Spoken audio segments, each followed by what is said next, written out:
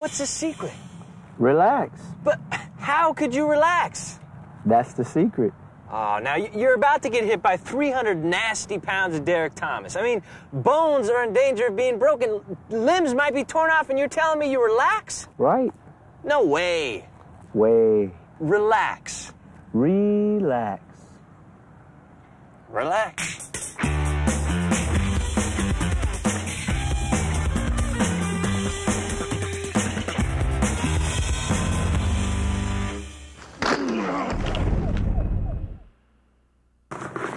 Sports figures. Put your brain in the game. You might think I just kicked that ball, but I did something way cooler than that. I changed the ball's momentum. Now, sitting here on the tee, the ball's momentum is zero. It has mass but no velocity. It's just sitting here. Ah! Now it has momentum. It's moving. It has mass and velocity. So, how did I change its momentum?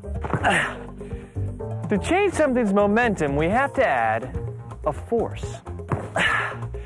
You might think that's a kick, but it's not. It's really an impulse. In physics, we describe the force that changes something's momentum with the word impulse. You know the word impulse, right? It's uh, when you do something on the spur of the moment without giving it much thought. Like when you, uh, you buy all the stuff next to the cash register. That's called impulse buying. I love these. So, impulse has to do with time. In physics, it's the same thing a force that happens over a finite period of time. Time is what makes a force an impulse, how long a force acts for. So, Napoleon, you take a lot of hard hits out there. Oh, yeah, definitely on a game to game basis. When you get hit, when you get crushed by someone like Derrick Thomas, how do you how do you guys just spring back up? I mean, how do you not break every bone in your body? Well, first of all, we have pads on, definitely, and uh, and spending a lot of time in the off season getting physically fit and getting prepared for the pounding that we're about to take during the year. Another way a running back could lessen the force of a tackle is to relax. That seems weird, right? I mean, how could relaxing when you're about to get tackled help? It seems to me if I were going to get hit by Derrick Thomas, I'd want to tense up my muscles when I got tackled. So, why relax? I guess it'll be like your body bends when it gets hit, so it doesn't hurt as much. Yeah, and something that's stiff breaks easier than something that bends. You're more flexible. What if I told you it has to do with time? Time? Time. Were to jump from this diving board and land on the concrete down below? But uh, what if I were to jump from up here and land in the water? We know that the watermelon had momentum when we dropped it. And we know that both watermelons had the same momentum because they had the same mass and they were dropped from exactly the same height. So, why did one watermelon splat and the other survive?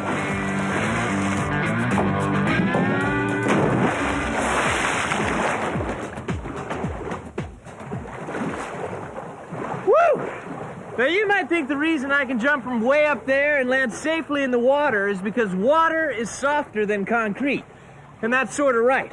But the reason it really works is time. When the watermelon hit the concrete, it had lots of momentum. After it hit the concrete, its momentum was zero. It stopped. Its momentum was affected by a force, the resistance of the concrete. When the watermelon hit the water, it had the same amount of momentum. And after it hit the water, its momentum was zero. It stopped. Its momentum was also affected by an outside force, the resistance of the water. The change in momentum was exactly the same. Because of that, we could say that both watermelons were affected by a force, and forces change momentum. But obviously, the forces affected the watermelons a little differently. Hmm. The difference was that it took longer for the watermelon to stop in the water. Right. So we can't just look at the presence of force. We have to look at force and time. And Napoleon, force and time are Impulse. correct. The difference is how long it took for the momentum to change. And the time it takes for a force to change something's momentum is an impulse, right? Remember what we said? When a force changes something's momentum over a finite period of time, it's an impulse. Uh, no momentum. Impulse. Momentum. One of the things we know about momentum is that it has both magnitude and direction. So a change in direction is a change in momentum too. Let's go to the sports figures blackboard and take a look. An impulse doesn't necessarily have to stop a player like a tackle. Often we'll see a running back bounce off another player, changing his direction. That's an impulse too. Here we see Kaufman take a shot, but it doesn't stop him. What it does is change his direction. If his direction is changed, you know his momentum has changed. That's impulse at work right there. What this means is that we can figure out impulse in more than one dimension. A force for a finite period of time. It can stop you or change your direction, but it's always an impulse. I'm Mark Malone for the Sports Figures Blackboard. So the impulse was the same for both watermelons, but the force was greater for one because the time was so small. The difference in time is what smashes the watermelon. Or not. Look how long it took for the water to stop the downward momentum. The same thing happens when we give momentum to an object. Now, when we kick a football, we're adding a lot of force over a short period of time. That's an impulse. But what would happen if we give it the same amount of force over a longer time? Yeah, the kick is sort of like the concrete, but what's the same as the water? Well, we can figure it out like this. First, we'll have Veronica kick the football. Look at the equation for impulse. Force times time equals the change in momentum. We get the change in momentum by subtracting the momentum after the impulse from the momentum before the impulse.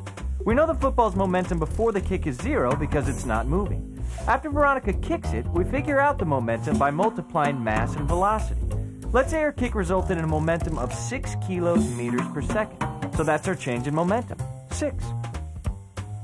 Using high speed photography, we can find how long Veronica's foot was in contact with the ball. About 8 one thousandths of a second, 8 milliseconds. That's our time.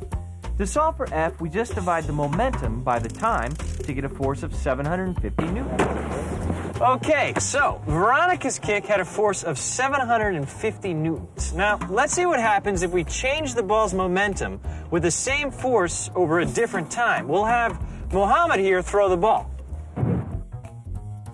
Again, the ball starts with the momentum of zero, and when Mohammed throws it, the ball has the same velocity and obviously the same mass. Mohammed's throw gives it the same momentum as Veronica's kick, 6 kilos meters per second. But the big difference is this.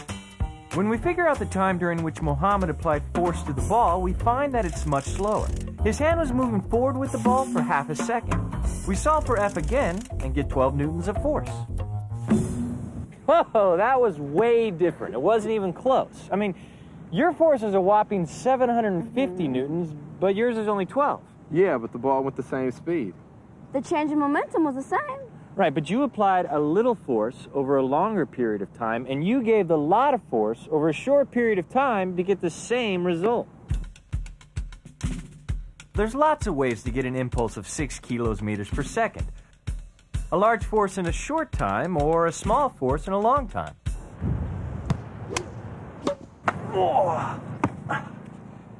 That's why in sports, they always tell you to follow through when you hit the ball. Because the longer you make contact with the ball, the bigger the impulse and the bigger the momentum change. That brings us to football pads. Now, these pads are filled with soft, cushy foam. There's foam in this helmet, uh, foam under the shoulder pads. These are hip pads, and these are thigh pads, all foam. And foam is all about time. One of the things football pads do is increase the impact time when you get hit. The foam compresses, and that takes time. Just like the water, the force is less because it changes your momentum more slowly. Oh. Look at the way an airbag works. What the airbag does is add time to the impact. More time, less force. The principle of force times time equals change in momentum is around us every day. You see, what a shock absorber really does is extend the amount of time of the impact. More time, less force.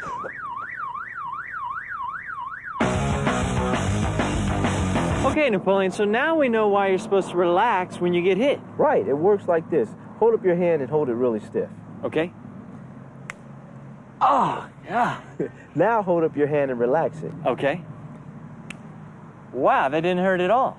See, now when you get hit and your body's relaxed, your body gives way with the hit. Right. And the more time it takes to change the momentum, the less the force. Right.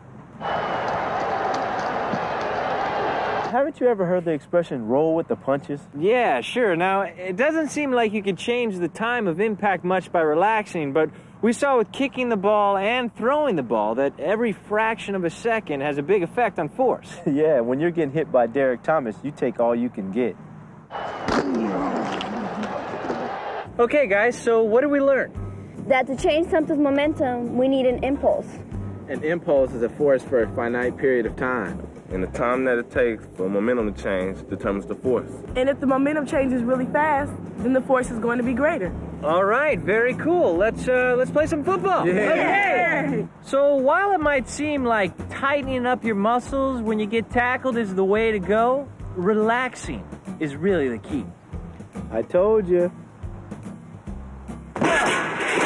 Well, I'd like to thank Napoleon Kaufman and the Oakland Raiders.